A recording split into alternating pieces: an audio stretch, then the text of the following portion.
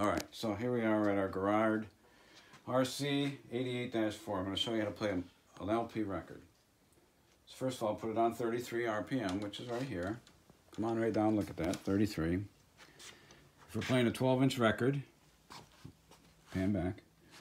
Now you want to put this on the size record you need, in this case 12. Make sure this little wheel is back. Put this on here, whether it's a stack or a single record, put that there. Come on over here to your tone arm. This is your lock, get that off there. Put this on auto. So now I'm gonna press this.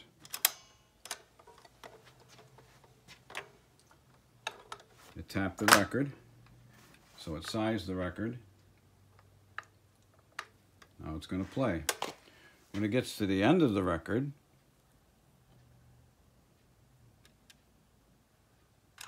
going to pick up automatically. The sensor is going to come over. It senses no records, so it's going to turn off.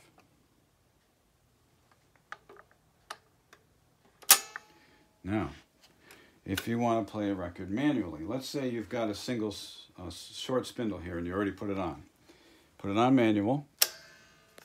Let's say you want to treat this like a turntable instead of a record changer. Put it on reject, watch what happens.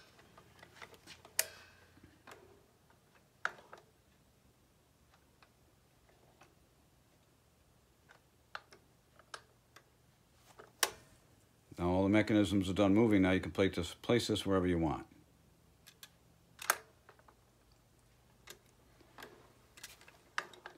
Now it gets to the end of the record. What's it going to do? What do you think it's going to do?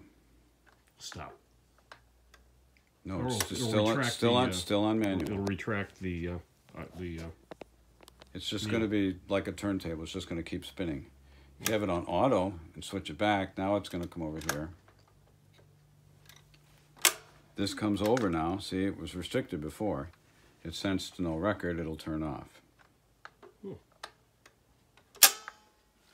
Now, if you want to take your stack of records off, if you happen to have your records stacked, to take them off, pull that out. Then it's a lot easier. Because you don't have that curvy lurvy you got to get it up around. So it just sits in here. And it's oriented so it's angled towards there. See this little, this little mm -hmm. flat spot? That yeah. coordinates with this flat spot. There you go. It's as simple as that. Mm -hmm. If you want to play a 10-inch record, just make sure this is forward. And stack your 10-inch records, so on and so forth.